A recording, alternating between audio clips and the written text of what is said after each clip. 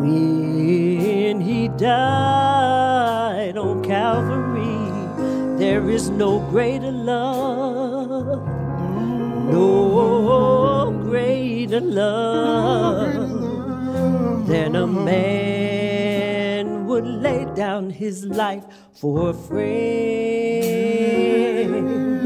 There is no greater love no greater love than a man would lay down his life for a friend. There is no greater mm-hmm.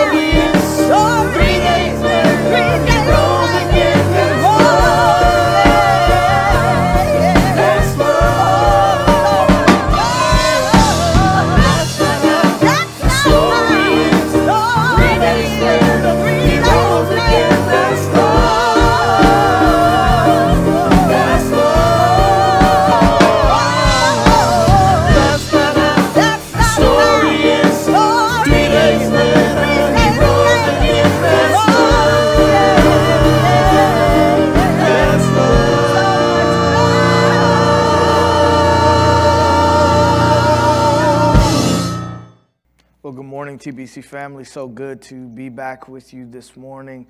I pray that you are doing well, and I just praise God for being able to gather with you this morning in this way.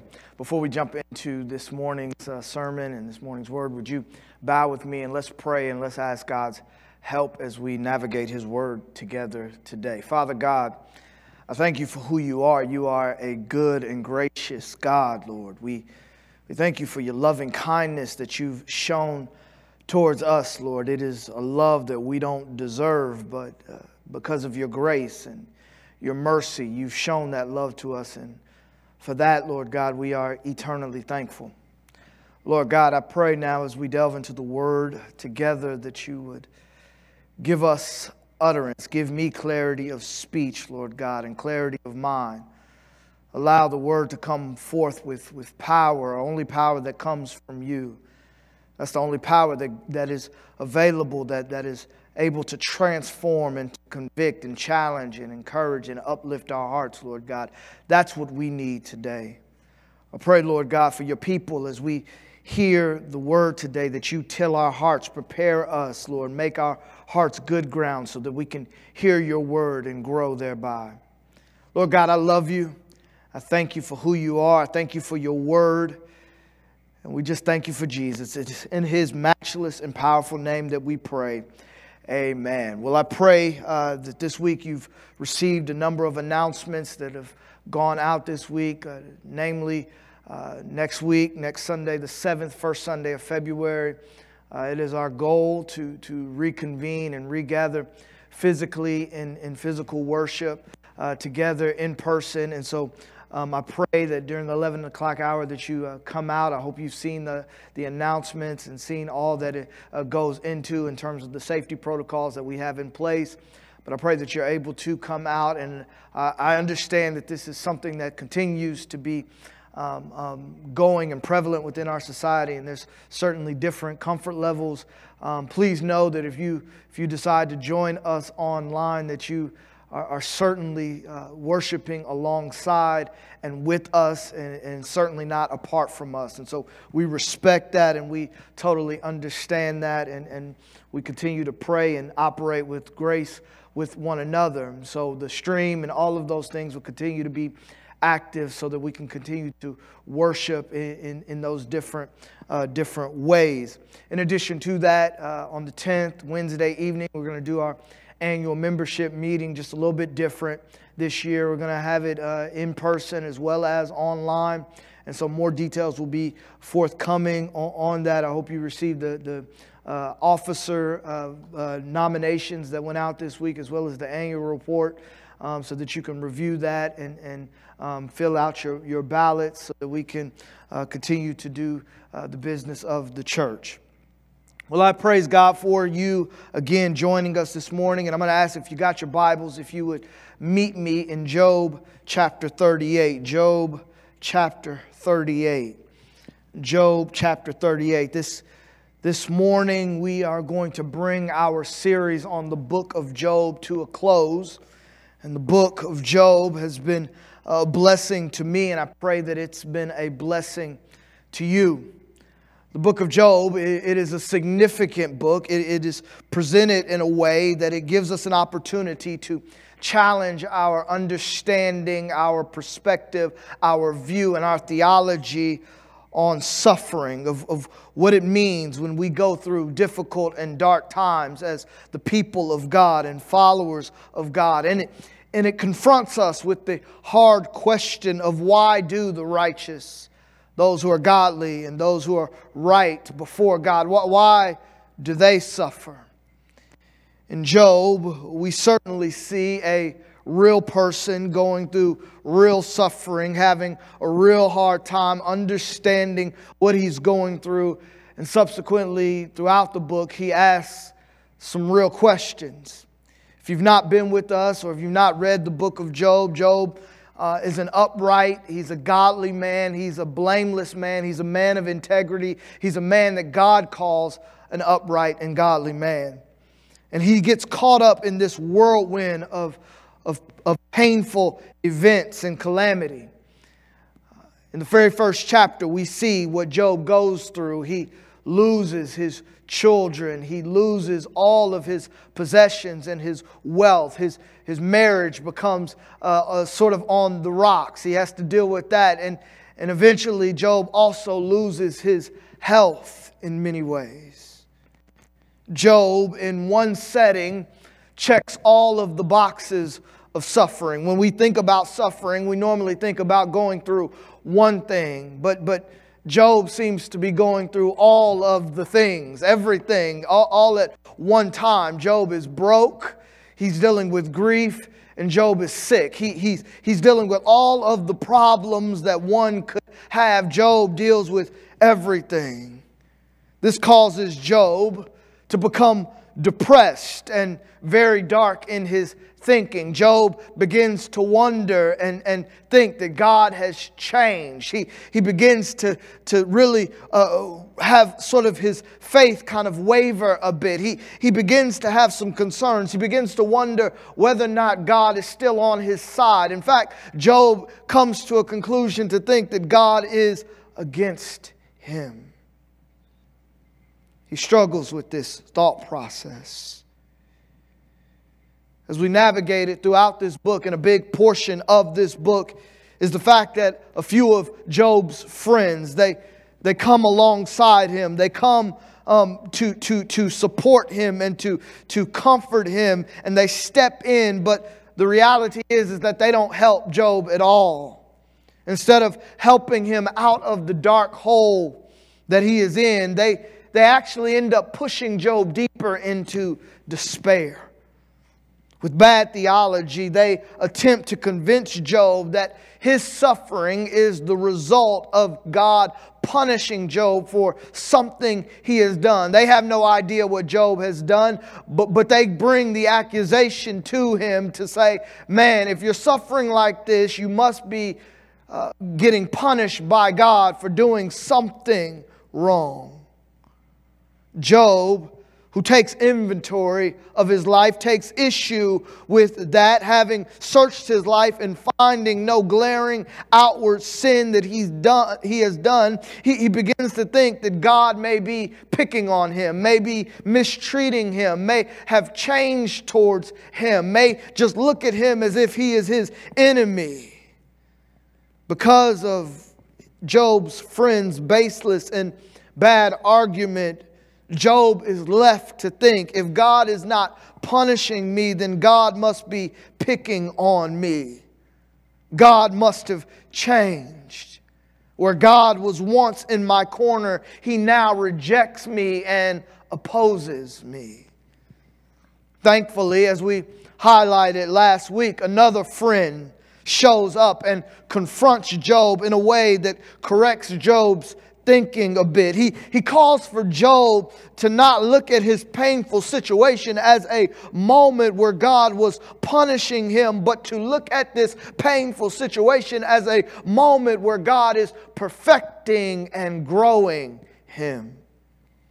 It appears as if this counsel was helpful in causing Job to reconsider his growing sentiment that, that God was against him because he does not argue with this friend as he did with the other three friends. But to this friend, he sits in silence and he listens to him. This friend's perspective was valuable in that it helped Job to reflect on the fact that although he was a good and godly man, he was not a perfect man. And contrary to what Job was thinking, his friend wants Job to understand that he belongs to God. In fact, he, he is, he is uh, God's, uh, and he is uh, God's friend. And, and it is precisely the, the reason why his pain and suffering is not pointless, but has purpose. And that purpose is to perfect, to produce, and to purge. The purpose of Job's painful circumstance is to perfect Job's righteousness, to produce in Job more righteousness, and to purge from Job unrighteousness. His last friend's counsel ends in chapter 37. His wisdom certainly was invaluable, it was helpful and it was vitally important. However, his friend's insight, while in no doubt was inspired, it, it really serves as the opening act to the main attraction that everyone really came to see. In chapter 38, God shows up and God speaks.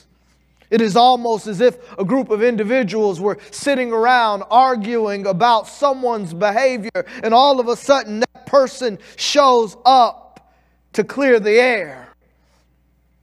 In chapter 38, after God no doubt has heard all of their arguments, they're going back and forth, the counsel that has been given, he's heard all of the chatter, all of Job's dismay, all of his friends, friends' uh, bad theology. He, he's heard the wise counsel of his other friend.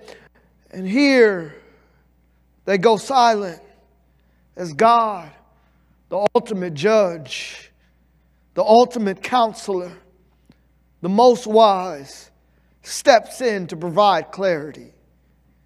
In chapter 38, what we find is that God has something to say to Job. Today, much of our discussion is going to be centered around the sovereignty of God.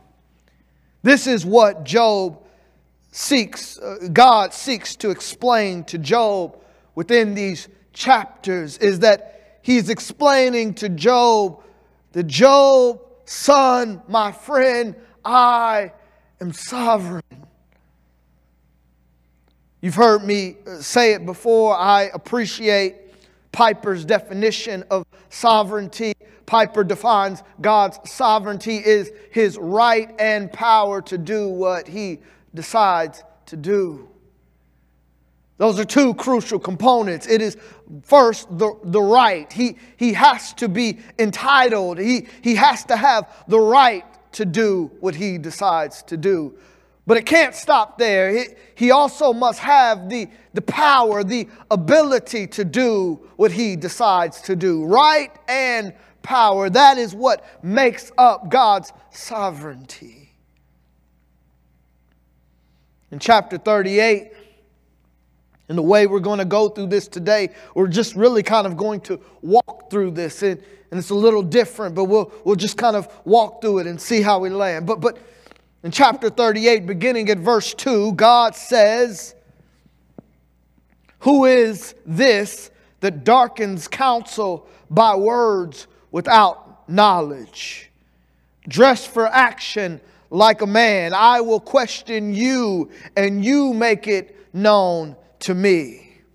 God says here, okay, Job, you have been interrogating me. Now it is time for the tables to turn. Now, now it is time for you to go on the witness stand. You, you have examined me this whole time. Now it's my turn to examine you, to, to ask you questions. You've had many questions that you have peppered me with, but, but now I am going to question you. And really, the basis of God's questioning of Job is based on his statement that he makes there in verse 2 of chapter 38 when he says and asks the question, Who darkens counsel by words? And here's the key phrase without knowledge. In other words, Job, you have said a lot, you've argued a lot, you've shared a lot, you, you've shared your wisdom, you've shared your understanding, you've shared your concerns, you've made your arguments known about what has happened to you, and yet, what do you really know, Job? How much do you really understand? Do you really have a clue, Job? It's funny. Just last week, our son Miles, as we were preparing to have dinner, he grabbed his chair and he moved it to the head of the table. When I came to the dinner table and I seen Miles sitting there at the head of the table, I thought I would mess with Miles like my dad used to mess with us. My dad would always say, when we would take the seat at the head of the table, to be careful because the one who's sitting at the head of the table has to take care of the household bills. As such, I, I repeated this to Miles. I looked at Miles and I said, Son, be careful. Since you're sitting at the head of the table, I want you to know if you take that seat, you're going to have to take care of the bills of the house.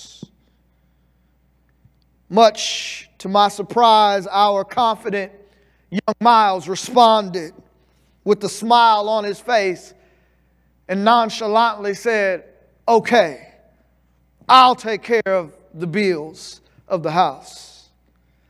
I laughed and said, Praise the Lord, but, but I took advantage of the teachable moment and I said, Son, well, let me share with you about the bills of the house. I began to share with him about the mortgage payment. And the water bill and the electricity and the cost for the internet and Wi Fi that he loves so much. And, and I began to talk to him about the food that, that was about to be served to us. And I, and I talked to him about the, the snack closet that he loves to raid and the expense that comes with that. And I, and I said that only scratches the, the surface of the cost and what it means to take care of the bills in the house. Miles, a little shaken now, but not wanting to back down from the challenge, responded, although he was somewhat clueless to what he was agreeing to, said, Okay, then I'll go to work then to take care of the bills. To which my wife appropriately responded, Boy, ain't nobody gonna hire you. What Miles failed to understand and what he, he, he failed to miss is on one hand, he had no clue of the level of responsibility that came with taking care of the bills. But not only that, not only did he have no clue of what it looked like to support our family, Miles has no ability to take care of the family. He has no idea of what it takes to take care of and support and, and feed and, and clothe and, and, and provide shelter for a family of five. But not only does he not have a clue, uh, he also doesn't have the ability to, to earn and take care of a family of our size. In essence, this is the point God is making and will be making to Job. God is saying, Job, why you have so many questions, and I understand the pain you are feeling. Yet, Job, you have no idea what goes into running the world. And even if you volunteered to take on the job, Job, you couldn't do it anyway. In order to be sovereign, as God is sovereign, you must have both the right and the power, the right and ability.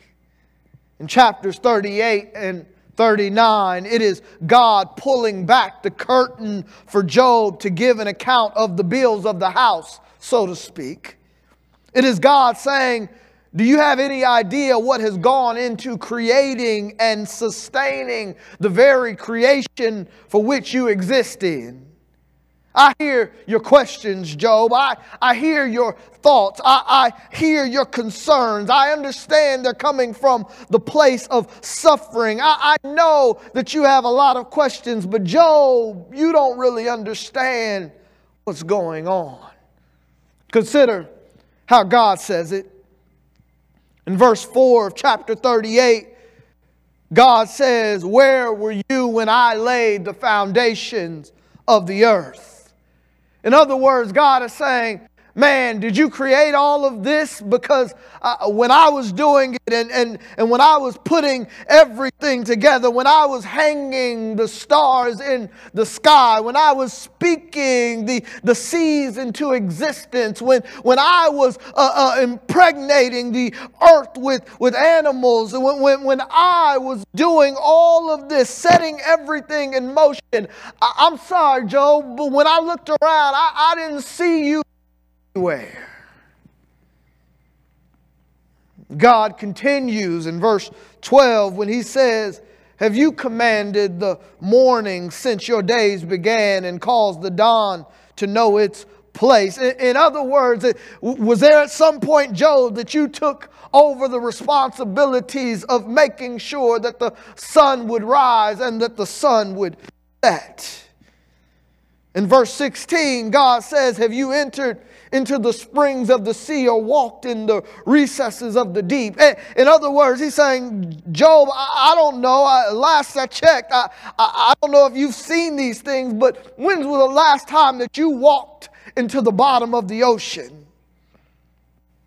In verse 18, he asked the question, have you comprehended the expanse of the earth? Do, do you really know how, how large and how big and, and how expansive all of this actually is?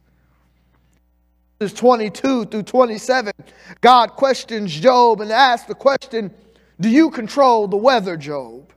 He says there, Have, have you entered the storehouses of the snow? Or, or have you seen the storehouses of the hell which I've reserved for the time of trouble, for the day of battle and war? What, what is the way to the place where the light is distributed? Can you show me uh, how I get there? Where, where, where the east wind is scattered upon the earth? Who has cleft a channel for the torrents of rain and a way for the thunderbolt? Job, can, can you tell me how the, the, the, the sky is cut where uh, there can be a space for the rain to come down and, and thunder and lightning to go? Can you tell me who is in control of the fact that the, that rain can be brought on a land where no man is, or, or on the desert in which there is no man, to, to satisfy the waste and desolate land and to make the ground spout, sprout with grass? Can, can you tell me, Job? Can, can you help me out? Can you help me understand? Do you know the way in which all of this happens? Do, do you know? No, I'm not talking about your, your science analysis and, an answer to how these things take place. No, I'm asking you, do you know who controls that process? Can, can you help me understand that? Have you been a part of any of that? God doesn't stop there.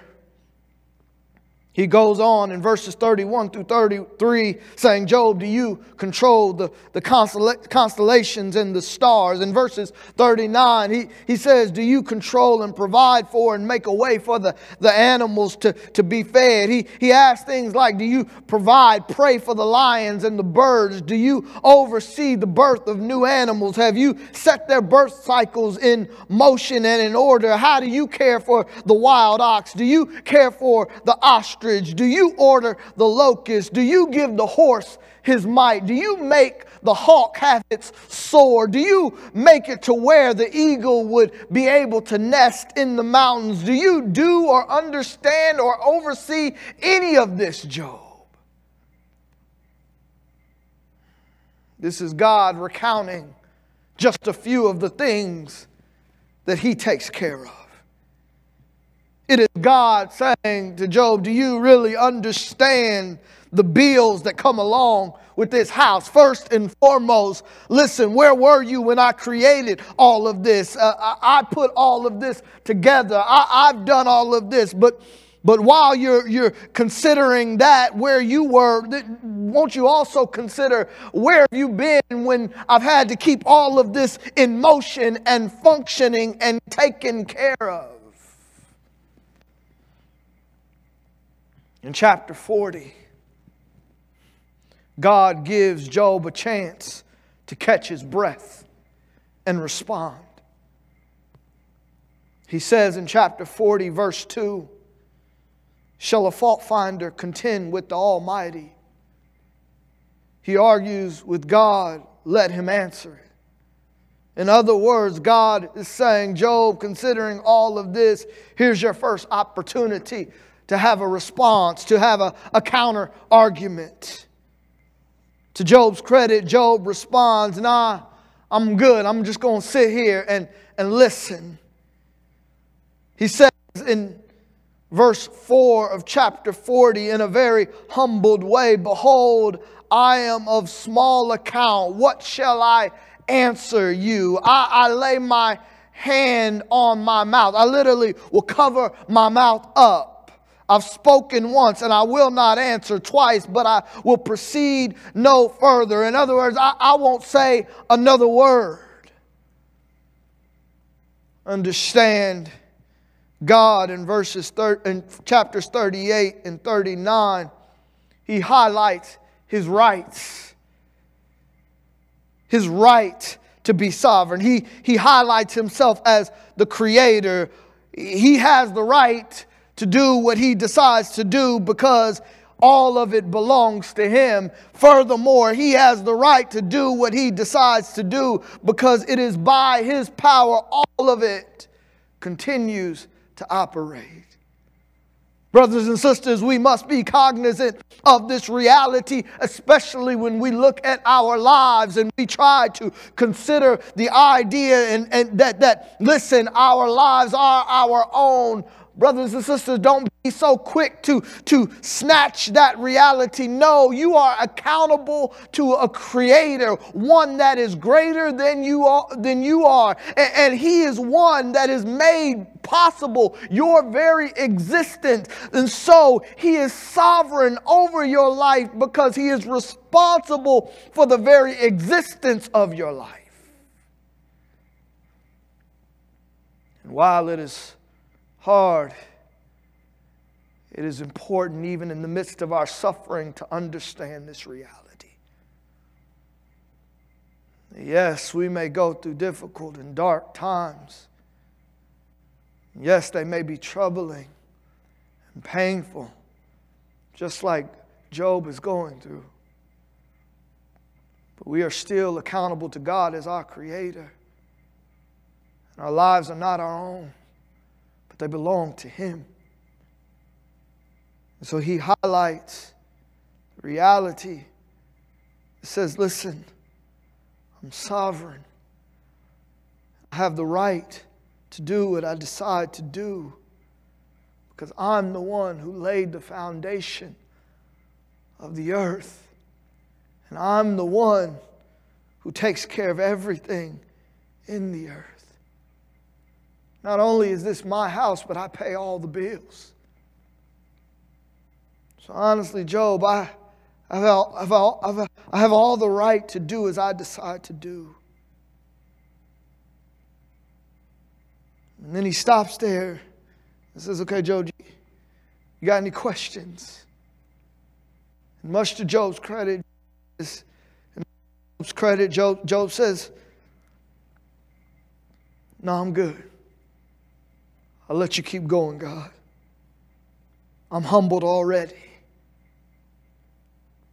In chapters 40 through 41, it sort of shifts a bit to where now God extends a challenge to Job.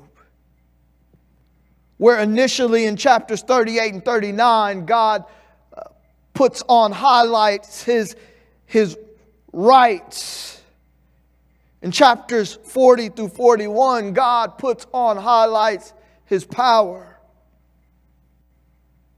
Job, I laid the foundations of the world. I, I make sure it all keeps going. And so, literally, I, I've got the right to do what I decide to do. But, but not only that, but I have the power to do what I decide to do. And the way God presents this to Job is by presenting to him a challenge to say, What power do you really have, Job? Do you really have that much power comparatively to me? Do, do, do you really have that this, this power? Listen, Job, if I were to hand over the keys to the kingdom to you, if I were to give you and relinquish my rights and give you my rights, could you really do anything with it, Job? If I were to give you the entitlement to sovereignty, would you have the power to exact your sovereignty? This is what Job, God challenges Job with in the next two chapters. In verse 9 of chapter 40, God asked the question Job, have you an arm like God? And can you thunder with a voice like this? Job, can you really do what I do, Job? I mean, seriously, Job, can, can, if I were to give you this, this, this, this right, if, if I were to say, okay, go ahead and take care of the bills, the reality of it is, that someone would have to respond as my wife responded to my son. Nobody's going to hire you. You don't have the ability, Job.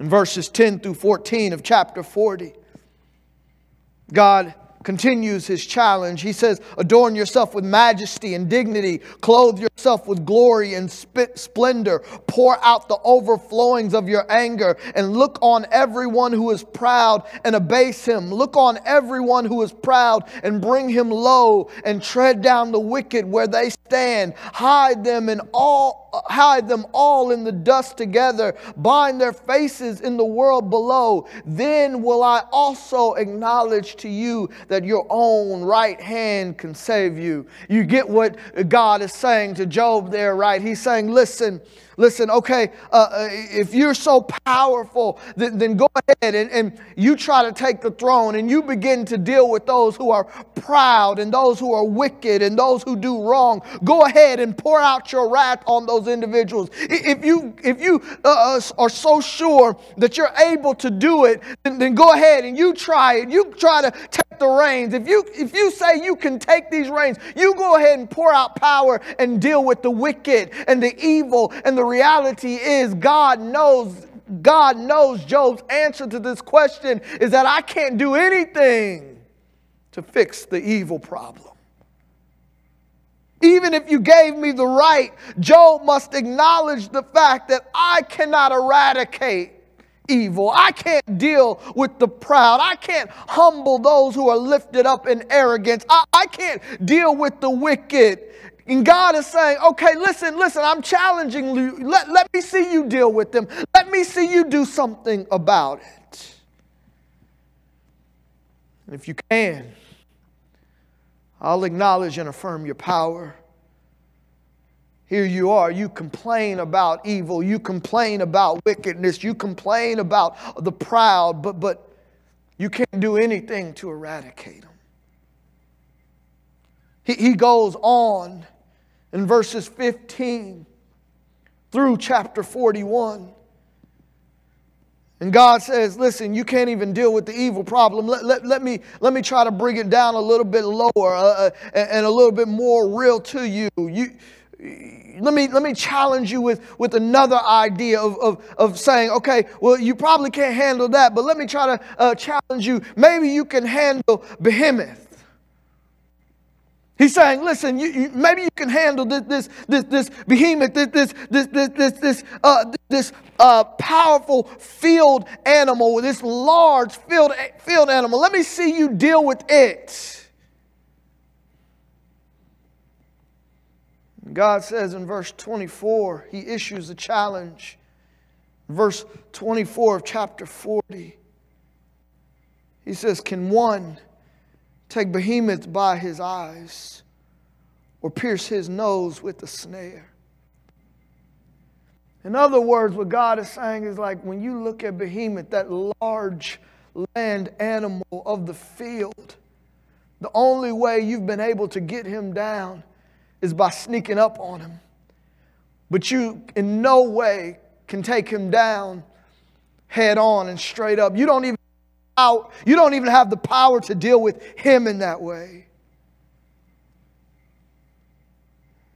And God speaks of another large animal of the sea.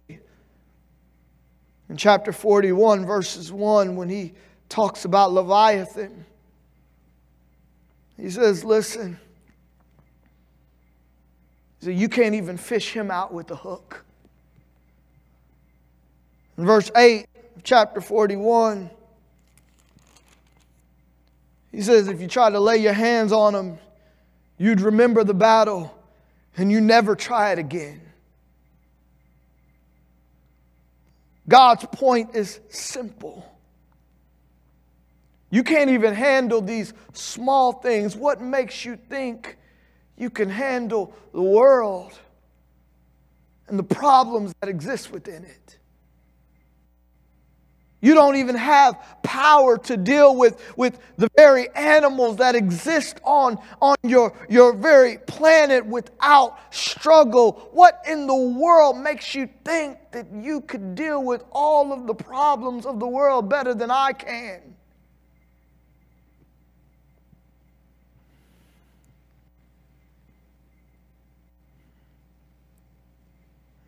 God has made the argument that I'm sovereign.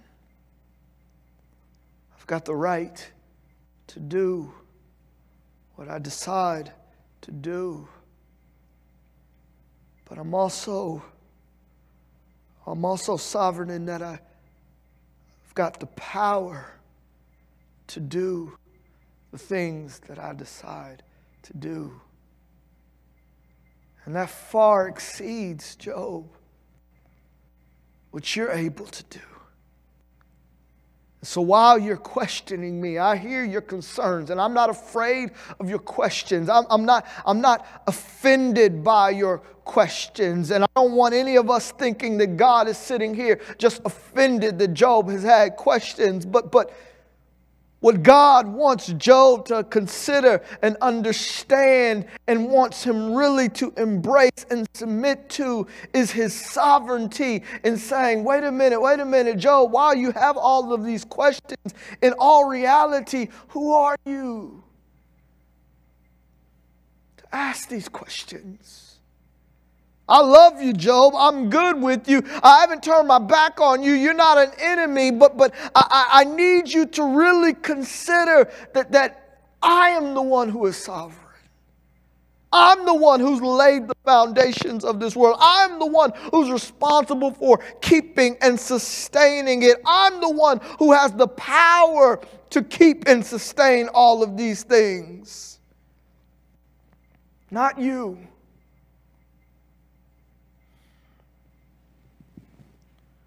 Leave the question that Job and you and I are left with is what can we learn and what comfort can we take in the midst of our suffering by understanding and embracing and submitting to the sovereignty of God?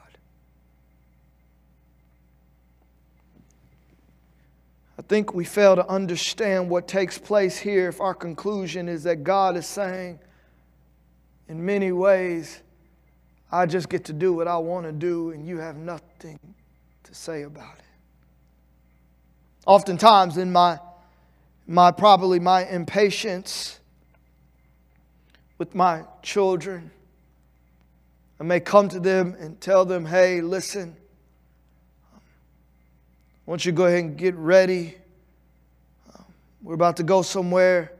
And they'll respond and say, Well, where are we going? And I'm just like, Listen, I just told you to get ready. I ain't got time to be asking all these questions. Just get ready. And I, I believe we, we, we almost hear it as, as sort of this that, that, that mindset of we've heard it all before. It's like, hey, well, why am I doing this? Well, because I told you so. And I don't really think that we're fully hearing what God is saying if that's the only conclusion that we draw from this. It, I don't think that we're hearing rightly if the only conclusion that we bring out of this is God saying, Because I told you so. If we read this as God throwing his weight around or boasting in his right and power and in his sovereignty, I think we read this wrong, and that's not what Job hears. Don't get it twisted. Job is not embarrassed into submission by the fact that he can't answer God's questions. He's not beaten into humility by, by God overwhelming him with, with these questions here. He, he doesn't hear God justifying himself, but what he does hear is God proclaiming his sovereignty and worthiness of being trusted. And this is what Job submits to and embraces and learns. And this is what you and I must embrace and learn and submit to, especially in the midst of our suffering. That is the reality that if anything, God's sovereignty can be, can be, can be trusted in the midst of what we're going through. That even in the midst of our pain, even in, in the midst of the dark times and the difficult things that we go through, we can trust both His right and His power and to make the decisions to do what He decides to do.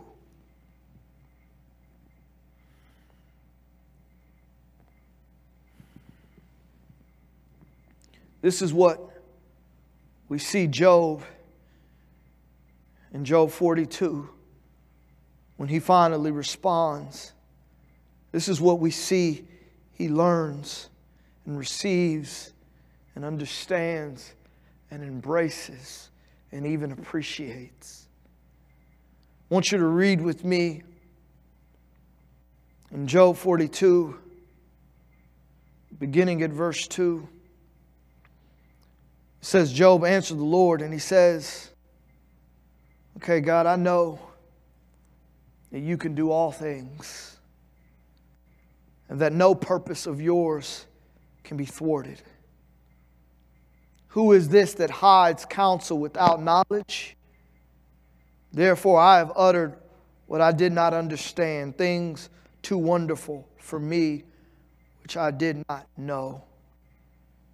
Hear, and I will speak. I will question you, and you make it known to me. I had heard of you by the hearing of the ear, but now my eyes see you. Therefore, I despise myself and repent in dust and ashes. God, I, I know you can do all things. Know that no purpose of yours can be thwarted. Job then quotes God, the question that God asked Job, Who is this that hides counsel without knowledge? Job says, I hear you, God. My response is this I said some stuff, not realizing I, I, I don't understand. I'm clueless. Some of this stuff is just too big for me. Here, and I will speak. I will question you, and you make it known to me. God, I, I hear you. And I was just hearing you with my ears before, but, but, but now I really get it. Because of that, and I understand where I've gone wrong. So I repent and take comfort in what you said. There are at least four things, and I'll just run through them quickly. That wasn't a long introduction. We've been preaching the whole time. But there are four things that, that, that we can learn from Job here in his response, his confession, and his acknowledgement of God that, that, that we can learn from what he, what he says in response to God. Four things, especially in the midst of our suffering, that, that, that we got to grab, that we have to get. This is what it looks like to embrace and submit and trust in God's sovereignty. Very first thing is that he acknowledges God's power. He says, I know that you can do all things.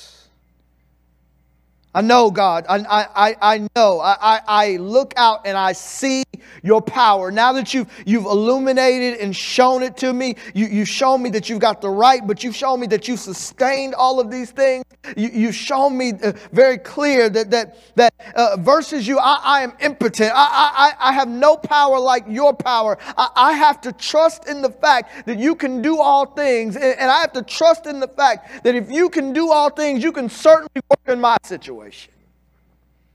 I, I got to just trust and acknowledge your power that, that regardless of what I'm going through, regardless of, of the difficulty that I'm facing, regardless of the pain that I'm, I'm up against, regardless of how big and how strong and how, how, how insurmountable the pain and the difficulty that I'm going through is, no matter how powerful it seems, guess what? I have to acknowledge the fact that you're more powerful. God, I know that you can do all things. Brothers and sisters, as you're going through what you're going through, as you're, you're navigating the darkness of life at times and, and suffering and pain, you must, in the midst of that, embrace God's sovereignty by acknowledging His power, even in the midst of what you're going through. Yes, it's painful. Yes, it's difficult. Yes, it's big. And yes, it's a tall mountain. But guess what? You have a God who is stronger, who is bigger, who is better. God can do all things, and that's the comfort His sovereignty brings us. Is that in the, the reality that, that we have a God who is in control, and, and not only is He in control, but He's able. He acknowledges God's power. He goes on and he says, and that no purpose of yours can be thwarted. I love this. He acknowledges God's power, but he also acknowledges that God has a purpose.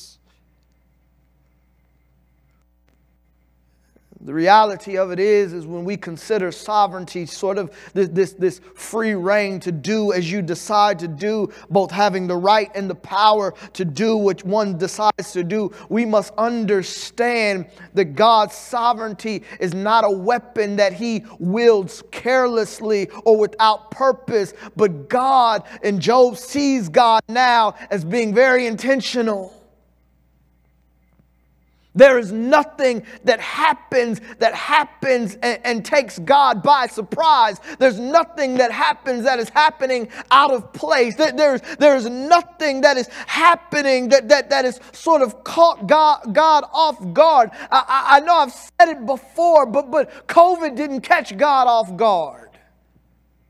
God is not surprised by these things. No, no, no. Everything that is happening is happening with, with a purpose and plan, and God has a purpose. God is intentional. That, that's, that's how we can understand God's sovereignty as we are navigating through our, our suffering and our difficulty, even though it's painful. Even though it's hard, no one's denying that and the difficulty in it, but it's not pointless. We can trust that God utilizes His sovereignty with purpose. Brothers and sisters, hope that as you are navigating your, your difficulties and your challenges, I, I pray that you can understand in the midst of it that it's not without purpose. The God is in control. He, he knows what He's doing. He, he, he, he hasn't left the car unattended. No, no, he still has his hands on the wheel. He, he, he, he's in total control. Thirdly, and this is good as well. Job first acknowledges, okay, God, I acknowledge your power. Secondly, I acknowledge that you have purpose. But here, thirdly, I, I, I acknowledge that God has power over his plan. He says, I know that you can do all things and then no purpose of yours can be thwarted. I, I, I acknowledge that I know that you can do all things and that no purpose of yours can be thwarted. I, I, I know that you can do all things and that no purpose of yours can be thwarted. Okay, I, I acknowledge you got power. I, I acknowledge that you have purpose, but now I have to acknowledge that you have power over your purpose, that you have power over your plan, that, that not only can you begin something, but you can make sure that it gets finished. That not only are you intentional, but everything that you intend to do, guess what? Done. There are no doors that God opens that, that man can close. That There, there are no doors that God closes that, that man can reopen, family. I, I pray, brothers and sisters, especially as you're navigating, uh, navigating the, the, your, your suffering. Sometimes we tend in the midst of our suffering to think that something has gone awry or, or wrong or, or, or something is off kilter. But, but no, no, no. God's plan hasn't been thwarted, it, it hasn't been thrown off. No, if God has started it, He's going to finish it. Yes, if he's begun a good work in you, he's going to bring it to completion. That is speaking salvifically. And reality is, is that we can understand even in our lives as we are dealing and living practically the very real application that no, Whatever God has purposed in our lives, He's going to bring it to completion and for our good. He acknowledges God's power, He acknowledges God's purpose and plan, and He acknowledges God has power over His plan. The last thing that He acknowledges is that God, He acknowledges God's position. He quotes God in, chapter, in verse 3 of chapter 42 Who is this that hides counsel without knowledge? He said, I heard you ask me that question, and here's my answer God, I've uttered what I didn't understand. Stuff that was too wonderful for me, which I didn't know. God, I, I, I, I, didn't see you before. I only heard you, but, but, but now I see you. And, and because of that, I, I have to repent. God, I acknowledge the fact that, that your ways are, are above my ways, that, that you are greater, that you have more insight, you have more wisdom, that you, you know more and see more than I see. God, I acknowledge that reality. All I can do is just humble myself, humble myself before that, that truth. I, I, I just have to see that, that reality that, that you see more than I do. Think I shared this once before. I think me and me and Millicent, we, we went to go see um, Cirque du Soleil one time, and, and it was here at, at, at Bankers Life Field House. And, and the seats that we had, we, we, we, we couldn't sit on the floor. We couldn't afford to do that, but we sat up top. And so I, I, I, it was funny to, to sit up top because as I was looking out and I was watching the show take place, it, it, everything was timed. There was music and lights and things that were happening. If you sat on the floor, all you could see was the show that was unfolding before you. But where we happened to be sitting, I could actually see down into the AV and control booth. And so I could actually anticipate and see a little bit more of what was about to happen because I could see the fact that the, the controller, the person that was in control, actually was anticipating and, and had more understanding and more insight of the whole show and how the whole show fit together, not just what was happening in front of him, but, but he knew exactly how, uh, where everything was going. And the reality of it is, brothers and sisters, we must understand that God's perspective is different than ours. All we are doing is we're seeing life just sort of play out in front of us. But God, on the other hand, He's in the control booth. He sees everything. He knows knows all the cues, He knows how the thing fits together. So we must humble ourselves from the reality that says, No, God. Not only do I know you're powerful, not only do I know you act with purpose and that there's a plan, not only do I acknowledge that, yes, you, you've got power over the plan, but I got to humble myself into understanding the fact that, listen, you see more than I see. Family, I pray that in the midst of what you're going through, you can resolve now before you get there. And I'm going to trust that God sees the end and the whole of this thing. It's painful for me. I, am not going to lie. It's hard for me. I, am I'm, I'm not going to lie. I'm going to struggle. I'm, I'm going through it. It's, it's tough, but, but I'm going to trust in the fact that God sees the whole picture. To bring this to a close, in Job 42:10, we read that the Lord restored the fortunes of Job when he had prayed for his friends and the Lord gave Job twice as much as he had before. You can't help but not be encouraged by the fact that God is a God of restoration. That He's a God that can fix what has been broken, that He can make right what seemed, uh, seemingly has gone wrong, that, that He can wipe away tears, that, that he, he can truly make old things new and improved, that although you've gone through it, God can bring you out of it. He's a God who can turn midnights into mornings. We, we, we can't help but, but, but be encouraged by, by the fact that He, he can present, uh, uh, use, uh, take us out of the present pain, pain and, and bring us into the dawn of a new day. It, it's without question that this note of restoration here that God speaks speaks to that says, listen, what God does in the midst of all of this is that He brings it back to Job and He blesses him twofold. It, it, you can't help but not be encouraged, and this is written to encourage you and I to be patient through the pain of our suffering to trust in the sovereignty of God no matter what, even in the darkest moments, no matter what's going on. Continue to be patient and trust in God because God is a God of restoration. When things get dark, we can trust that God will work things out for our good.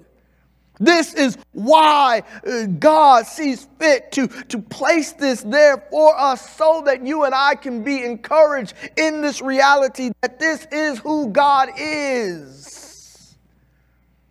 Perhaps you don't believe me.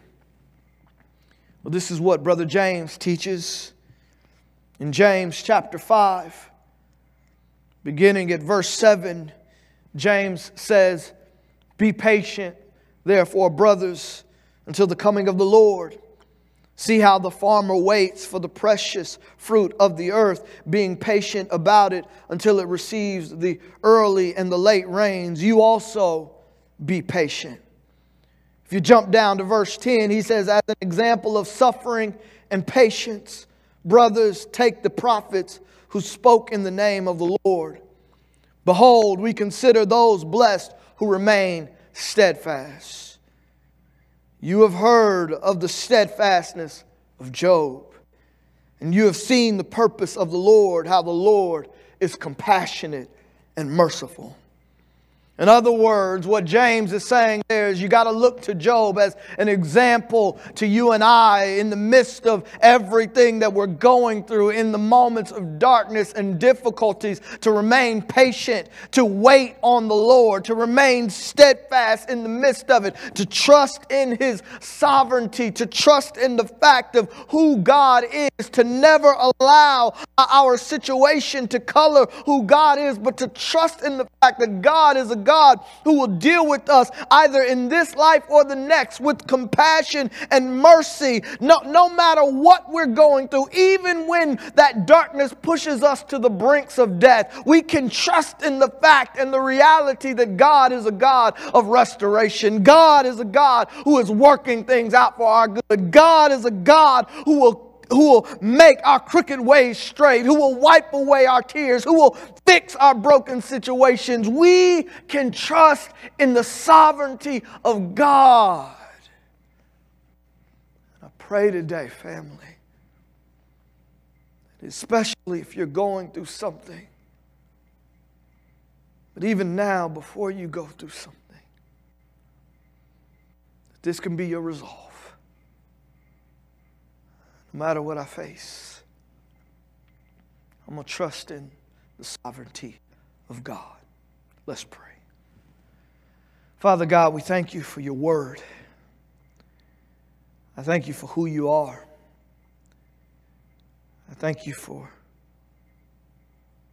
just the clarity of your, your scriptures, Lord God, the encouragement and the conviction that comes from it.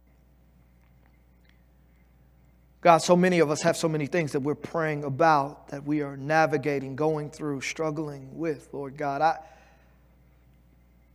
I pray today, God, that you would enable us, Lord, in the midst of what we're going through,